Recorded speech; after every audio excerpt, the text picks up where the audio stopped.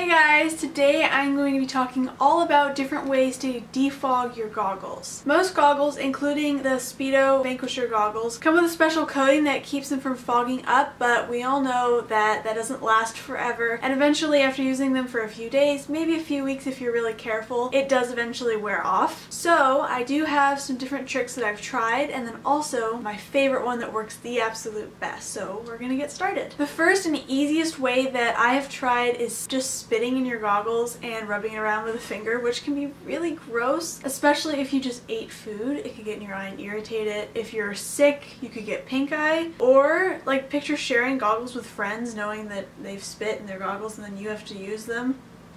Ew. It's just not very sanitary and it's also not very reliable, but it is the simplest way that I have tried. The second way that a lot of people have been using now is using the Spit product. This is just a special product that helps keep your goggles from fogging up.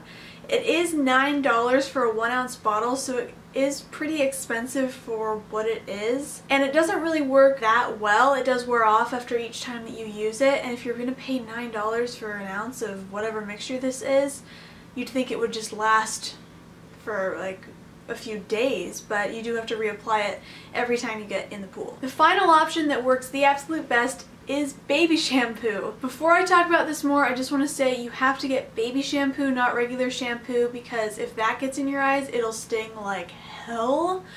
But this doesn't sting because of course it's meant for babies so this is the safer way to go. But all you have to do is take about a pea-sized amount on one finger rub it between two fingers so you get about half of the amount and then you rub it into each goggle get it around all the sides on the lenses and then you rinse it out in the pool right before you get in you don't want to rinse it in the sink because the water from the faucet can be kind of hard and can actually wash it all out.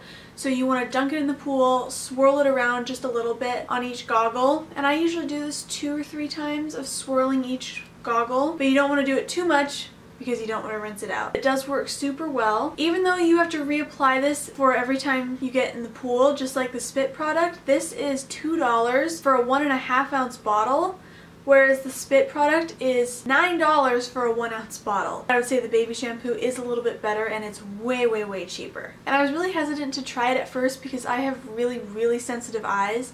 If I even get a drop of chlorinated water in my eye it gets so bright red during practice I look like I have pink eye even though I don't. But I tried it and I was like okay wow this works really well. So even if you have sensitive eyes and you're nervous about it, Trust me, it still works and it shouldn't irritate your eyes. These three different tricks are not original. I didn't come up with them.